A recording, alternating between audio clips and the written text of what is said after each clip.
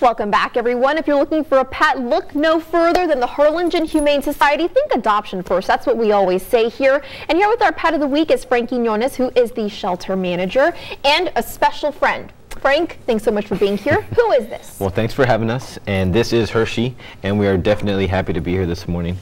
Um, Hershey, here, look, look this way, boy. Hershey, look over here. he's doing really good right now. Uh, Hershey, uh, obviously, he's a little mm. chocolate lab little lab mix, and we're thinking that he's not really. If he's a year old, maybe maybe a little mm -hmm. bit older than that, a year and a half at the most. But he's a really good dog, and he's actually pretty well behaved.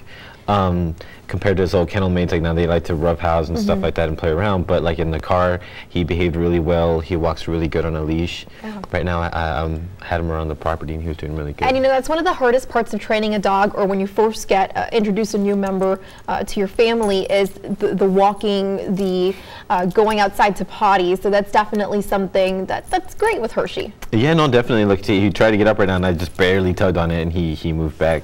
But no, he somebody might have spent the time mm -hmm. to train him a little bit. And unfortunately, um, him, like a lot of the other pets, are strays, they end up there and for some reason nobody's come to look for them, so they're definitely in need of a home.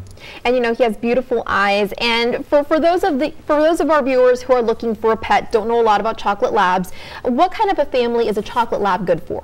Actually, they're excellent family dogs, and especially one this well behaved. I think uh, wish he would uh, he would fit in fine in a home with kids. He could even, uh, if you got the room, mm -hmm. space in an apartment. But of course, also you want to have a yard and and, and, and, space for him to walk, to run around and and of course the time to take them for a walk to get some exercise. Now, like Hershey, there are hundreds of other animals that you do unfortunately have in your shelter, mm -hmm. and to help, you guys sort of go off of fundraising and also donations. You have a big fundraiser coming up. Yes, we do. Actually, November 10th. Uh, in between now and then, we're going to be collecting uh, as many items as we can from the public. Uh, we're we're holding a garage sale. It's okay. an annual garage sale that we have, and it usually keeps us going for a good chunk of the the rest of the year. So um, it's usually pretty big. We have it out the, at the race park, and so hmm. um, you know if you, if you have any items to donate, go ahead and bring them by the shelter.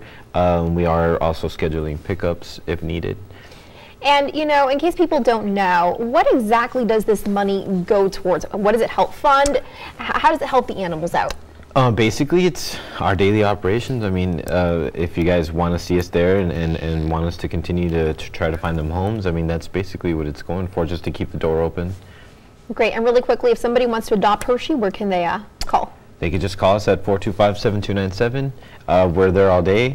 Uh, we open at noon, and uh, he's waiting for a home. Well, we want to thank you, Frank. And of course, if you want to see our latest Pet of the Week segment, you can always head to the Pet of the Week tab on valleycentral.com.